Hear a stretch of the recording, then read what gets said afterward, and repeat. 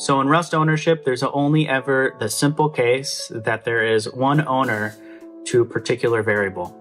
However, there could be times where you need multiple owners for that one particular variable. We're going to talk about reference counted smart pointers in Rust. My name is Ricky, and welcome to the Dev Method.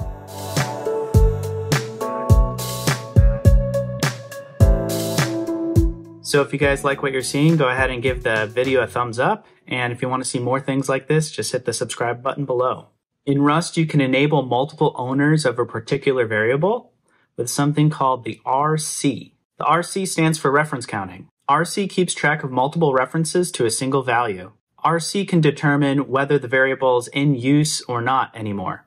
We use this in Rust when we cannot determine who used the value last at compile time.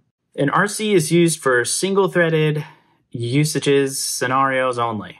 Concurrency is actually discussed in chapter 16 of the Rust programming book, and that's where they'll cover more of a reference counting with multi-threaded programs.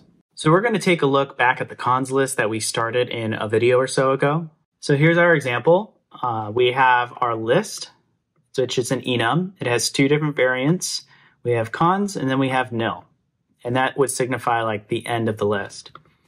So cons then holds an I32, and then we have a box of that list. And so if you can't remember from before, uh, boxes are a pointer to something that lives in the heap. So that is what our RC could do as well. So here's our example. Now let's run this with just the box and let's see the issues we run into. So cargo run and we get some issues. So here it's telling us uh, A is of type list, which does not implement the copy trait. That's fine. So far, so good. And now we move the value into this new box. But then we try and move the value again. We can't do that with borrowing rules, just the one owner of the value. So now we introduce RC everywhere where there was box. So we have RC here. And so that is going to store the value on the heap. Here we are RC again.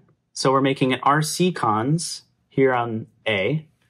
And uh, it's going to store 5 with another RC of cons for the value 10. And then we have the end of the list there. So now when we have A and we want to reference count it because there's going to be multiple owners, what we use is actually RC colon colon clone. And then we pass a reference to A. And it basically is like returning A back again, uh, and then just incrementing the count by one. So this is where it's keeping track.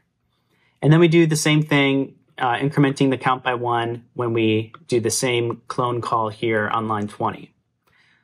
So let's run this example and see what happens.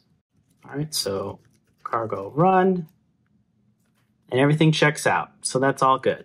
So let's look at the next example and see how the counts can change over time. We're going to have a really small example here, but this is exactly what the book has in the Rust programming book online. All right, so here we have the list again, just like before. It's got the RC there. Now uh, we bring RC into scope with the use statement, and that's this uh, std, so the standard library, and it's under the module RC, and then we bring in RC here. So now when we're using it in our project, um, we're going to do a print line for every time that the reference count uh, is changing. So here we have A that's being created, just like before. And then we use this RC colon colon strong count. And we can just see like, what is the count at this point? So now when we do B, this should increment it by one. So we should go from a count of one on line 17 to a count of two on line 19 when we print that out. Then we introduce C, right? And then we print, what is that? So that should be three on line 22. And then after that, C actually gets dropped. So that reference count does go down. And then we should see another two here on line 24.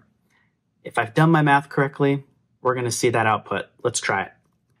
All right, so cargo run. Nice. So here it is, that first uh, count on line 17 aligning with this here. So count as one. So it just created the one RC. That's it. And then we increment it by two, or I'm sorry, we increment by one to get two. And that's on line 18. That's where the increment happened. And then this is where we print it out on line 19.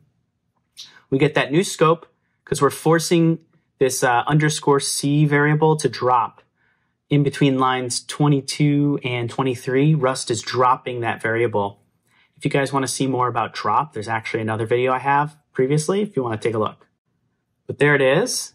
And uh, yeah, and then it comes out of scope. Now we're dra dropping back down from 3 to 2, and that's what this last print statement shows us as well. So now there is a weak underscore count that you could use uh, from RC, but that's not something that we're going to cover here in this video. You can read more about the weak counts in chapter 15, section 6. That's where you can take something like all these strong counts and look at the weak counts. But then you want to eliminate these like strong reference cycles. Because what if like A pointed to B, which pointed to C, which pointed back to A? So if you want to eliminate those kind of things, you're going to want to learn about something like weak.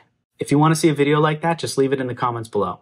So I know this was a short one, but if you guys uh, need to watch this again, please do so because it's not that straightforward, especially if you've never really talked about reference counting before from other languages. If you guys have any questions, leave them in the comments below. I'll do my best to answer them.